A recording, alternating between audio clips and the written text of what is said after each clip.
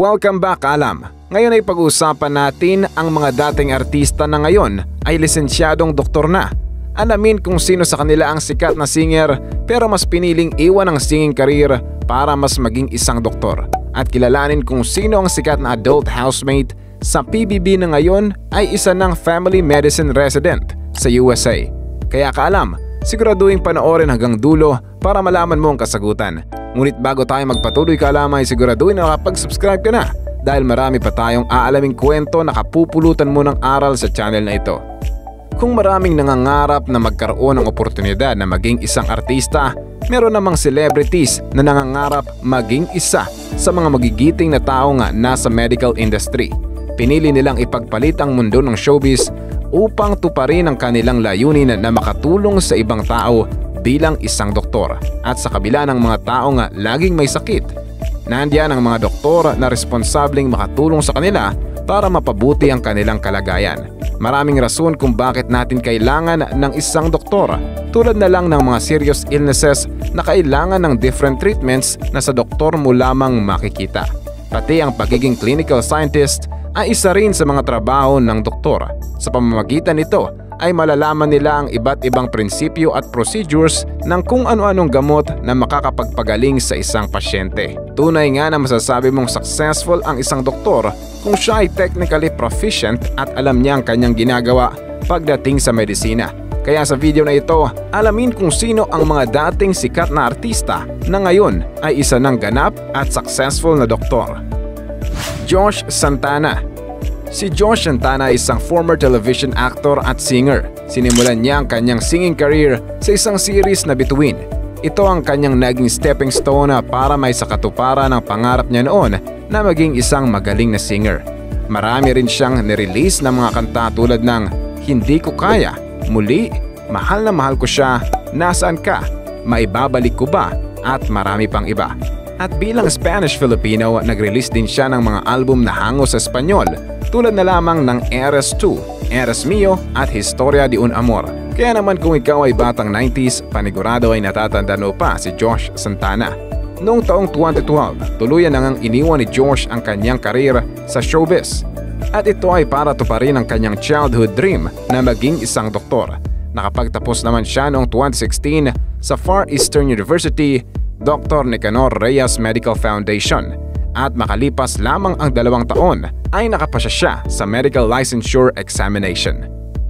Alec Dungo Sa edad na 11 years old ay pinasok ni Alec Dungo ang mundo ng showbiz. Mas lalo siyang nakilala nang maging isa siya sa teen housemate sa sikat na reality TV show na Pinoy Big Brother Teen Edition Show noong taong 2012. Nagkaroon din ng maraming proyekto si Alex sa ABS-CBN tulad na lamang ng sunod-sunod na roles sa Maalaala Mo Kaya, Princess and I, Just the Way You Are at guesting sa Ganda Gabi Vice. Ayon kay Alec, bago pa man siya maging artista, ay pangarap niya na talagang maging doktor. Kaya naman hindi na nakapagtataka kung mas pinili niyang sundin ang kanyang pangarap kaysa i-pursue niya ang karir niya sa showbiz. At sa kabutihang palad at tama ang piniling landas ni Alec dahil noong 2019 ay nakapagtapos siya ng isang medical degree na may karangalang cum laude. Pumasa naman agad siya sa medical licensure examination noong 2020. CJ Muere Marami ang nagulat ng iwan ng sikat na teen actor noon na si CJ Mere ang makinang na karir niya sa showbiz.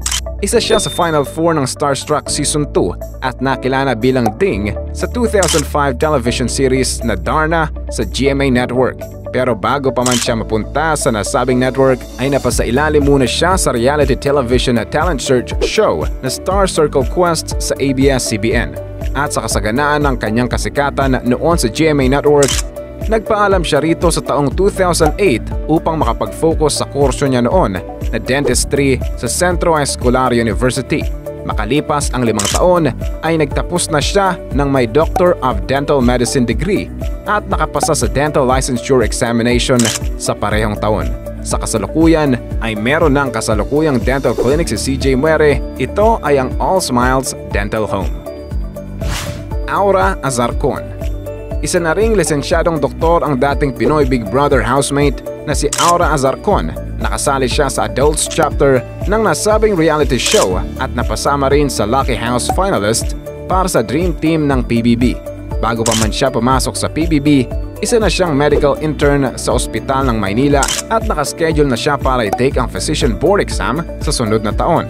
At matapos ang dalawang taon na makalabas siya sa bahay ni Kuya, nakapasa agad siya sa board exam para maging isang ganap na doktor.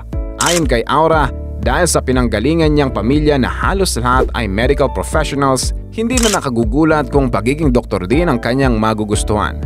Ang ama at isang kapatid ni Aura ay mga dentista at ang isa niya pang kapatid ay nurse. Sa katunayan, noong nasa college years pa lang si Aura, meron na siyang blog site na Make My Day sa site na ito ay binabahagi niya ang kanyang mga karanasan sa buhay, medical tips, advices at marami pang iba. At sa kasalukuyan, meron siyang YouTube channel at blog site na tinatawag niyang Dr. Aura. Dito naman ay libre siyang nagbibigay ng advices sa mga taong gustong maging doktor katulad niya. Si Aura ay nasa North Dakota, USA ngayon para sa kanyang Family Medicine Residency Training at nakatakda siyang graduate sa 2023. Angeli Gonzalez ang dating Filipina teen actress na si Angeli ay isa na ring ganap na doktor. Ipinanganak siya noong March 9, 1994 sa Binyan, Laguna. Nakilala siya bilang magaling na aktres noon sa ABS-CBN teleserye na Home Along the Riles, Once Upon a Time, Batang X at maraming episodes ng Maalaala Mo Kaya tulad ng Up, Passbook, Kalapati, Relo at marami pang iba. Isa sa mga tumatak na roles sa kanyang karir ay nang gumbanap siya bilang April Munoz sa teen-oriented show na Love You. At matapos ang kanyang taon sa showbiz na umabot ng 16 years, iniwan na niya ang pag-aartista at nag-pursue ng isang medical course. At nito lamang 2019 nakapagtapos na siya ng isang medical degree sa De La Salle Medical and Health Sciences Institute sa Cavite. Nagkaroon din siya ng maraming special awards tulad na lamang ng Outstanding Clinical Clerk, Family and Community Medicine, and Special Citation for Academic Excellence. Noong nakarang taon ay isa na siyang ganap na doktor patapos makapasa sa Medical Licensure Examination. Ito ang mga dating celebrities na licensed doctors na ngayon. Kalam, ano ang masasabi mo sa ating mga bida ngayon? Kung ikaw ay bibigyan ng pagkakataon, ano ang pipiliin mo? Maging isang doktor o celebrity? Antayin ko ang sagot mo sa comment section. Huwag mong kalilimutang i-like ang ating video at mag-subscribe ka na rin sa ating channel. At siguraduhin na panoorin ang next videos na siguradong magugustuhan mo. At yan na nagtatapos ang ating nakamamangang kwento sa araw na ito. Ito ang inyong kalam na nagsasabing, Knowledge has a beginning but no end. Hanggang sa muli at samahan niyo ako para sa panibago nating pag-alam.